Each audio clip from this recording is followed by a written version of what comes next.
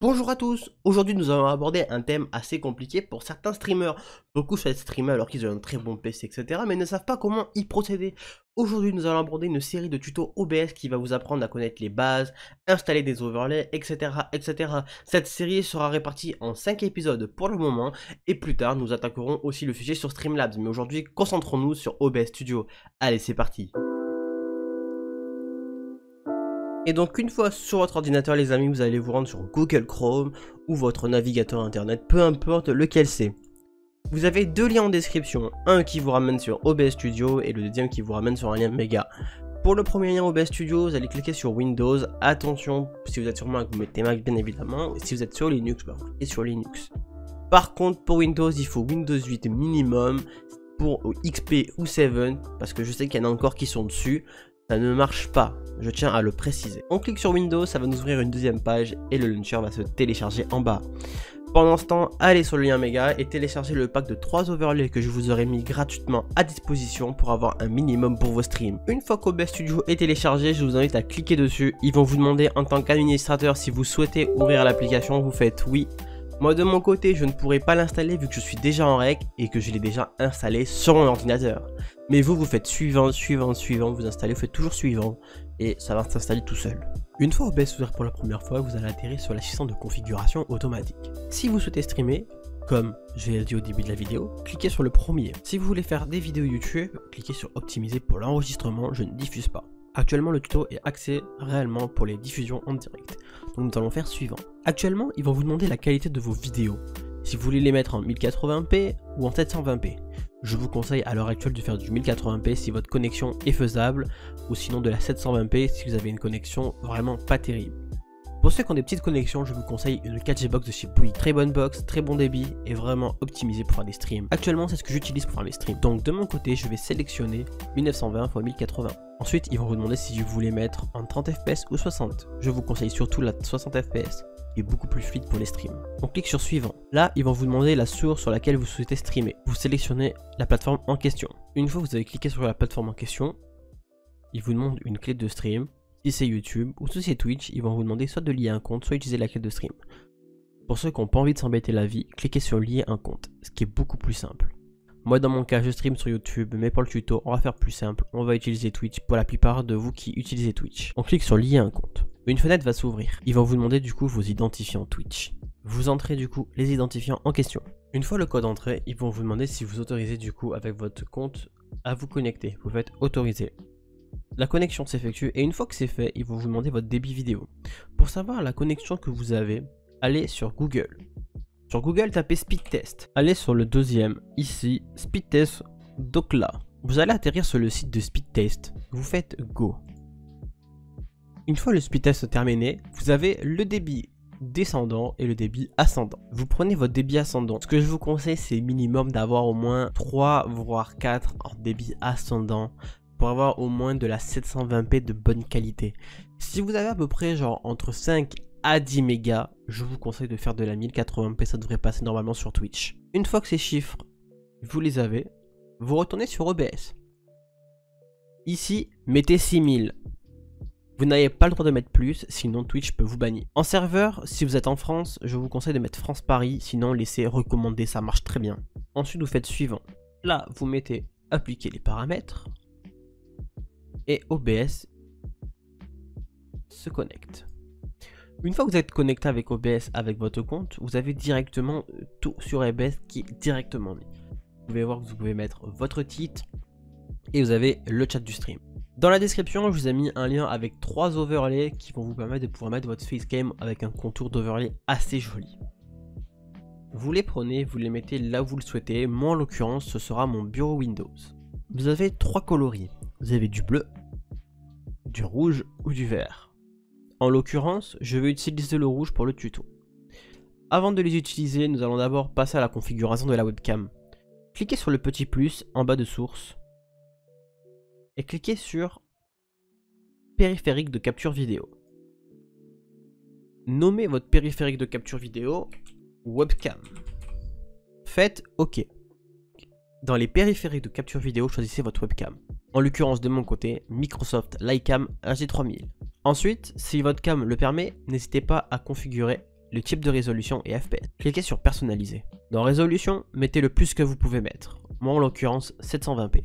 Format vidéo, n'hésitez pas à mettre YUY2. Type des gammes, n'hésitez pas à mettre 601 et la couleur en complète. Sinon, mettez partiellement. En l'occurrence, je mets partiel, vu que c'est de la 720p. Mise en tampon, laissez en détection automatique, mode de capture euh, d'audio. Si vous voulez utiliser le micro de webcam, vous le laissez activer. Mais bon, dans tous les cas, vous n'en aurez pas besoin, je pense. Faites OK. Donc là, on peut voir que la webcam est apparue. Si vous avez un fond vert, comment enlever le fond vert? C'est tout simple, je vous le dis en même temps. Faites un clic droit sur votre webcam, filtre, plus, incrustation par chrominance, et vous mettez le vert. Voilà, ça enlève le vert.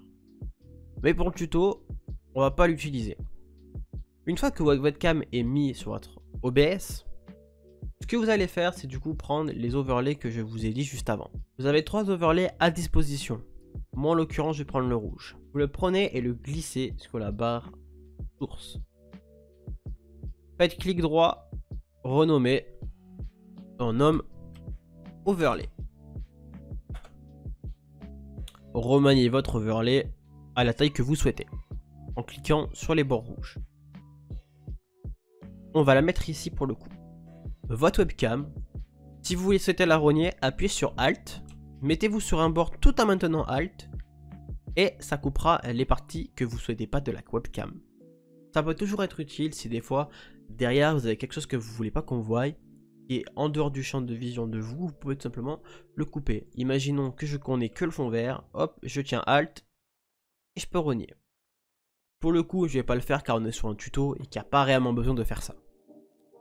On va juste diminuer la taille de la webcam, essayer de le mettre au niveau des bords comme vous le voyez. N'hésitez pas à utiliser les flèches directionnelles pour euh, avancer plus lentement si vous le souhaitez. Et hop, avec les flèches directionnelles, hop, on avance tout doucement, pas trop non plus. Voilà, déjà on va dire que la plus grosse étape a été faite. Pour le coup, vous pouvez faire aussi un truc tout bête pour que les deux soient assemblés, créer un dossier. Comment on fait ceci? On fait un clic droit sur du coup euh, dans le vide sur euh, l'overlay source. Vous faites ajouter groupe et on va le nommer groupe cam. Dans ce groupe cam, on prend les deux et on les glisse dedans. N'hésitez pas à mettre le petit lock, comme ça c'est des fois, euh, bah, imaginez, vous êtes en live, hop, sans faire exprès, vous glissez, au moins ça le déplacera pas, voilà. Par contre, si vous voulez déplacer les deux en même temps, vous cliquez sur groupe cam et hop, ça déplace tout en même temps. Une fois que la cam est mise, c'est bien beau, mais comment on affiche notre gameplay si on joue sur PC Pour ce qui est Xbox et PS4, on verra ça dans un prochain tuto. Pour le moment, on va se focus sur l'ordinateur. Ouvrons un jeu sur notre ordinateur. En l'occurrence, je vais ouvrir Phasmophobia. Une fois que vous êtes sur le bureau Windows et sur OBS, cliquez du coup sur le petit plus. On va cliquer du coup sur capture de jeu. On va la renommer, je sais pas, comme vous le souhaitez. Pour le coup, je vais la renommer Phasmophobia. Et on fait OK. Ici, vous cliquez sur capturer les applications en plein écran et on fait capturer une fenêtre spécifique cliquez dessus et choisissez votre jeu en question. Donc pour le coup, moi, fastmafioba.exe. On fait OK. Prenez le groupe cam et repassez le dessus du coup Phasmophobia. Et voilà, actuellement, du coup, vous avez le gameplay de votre PC. Et hop, on a la cam aussi ici. Maintenant que nous avons configuré la fenêtre de jeu, nous allons nous attarder au son, très très important pendant un stream. Pour configurer l'audio du coup de votre jeu, n'hésitez pas à y ici, vous avez une petite barre. Et vous pouvez la diminuer voilà pour choisir euh, si vous voulez que ce soit plus fort ou pas. Ça, pour vraiment bien le régler, il faut avoir un retour de stream, vous streamez en mode test et vous jaugez comme vous le souhaitez. Pour ce qui est du micro, imaginons vous avez, je sais pas, le micro de la webcam et le micro euh, casque ou Rode, ou peu importe, cliquez sur la petite, hum, la petite écrou là ici, vous faites propriété, vous cliquez ici où il y a marqué par défaut, et là tous les micros de votre PC qui sont détectés vont être affichés. Moi en l'occurrence c'est un Rode donc je clique sur mon micro Rode. Voilà et là on peut voir que du coup le micro a été changé et il y a deux barres qui apparaissent car du coup mon micro est un micro stéréo. Une fois que ceci est fait, vérifiez que toutes les autres scènes comme par exemple webcam sont mutées si vous voulez pas des fois avoir le retour du micro webcam. Ça peut arriver des fois qu'ils se mettent sans qu'on le veuille. Donc vérifiez vraiment que en tant que audio, il y a vraiment que ces deux-là qui apparaissent. Et voilà, c'est la fin du tuto. En tout cas, pour les choses les plus basiques à connaître sur OBS Studio, n'hésitez pas à vous abonner. Pour les prochains tutos, on va parler de transition, d'overlay animé, de chat sur le stream et pourquoi pas les donations et les follow qui apparaîtront aussi. J'espère que ça vous aura plu, n'hésitez pas à mettre un petit pouce bleu, ça soutiendra la chaîne. Tous les lundis, on se retrouve pour un tuto. On se retrouve donc du coup lundi prochain pour le nouveau tuto. C'était Icam, portez-vous bien et salut tout le monde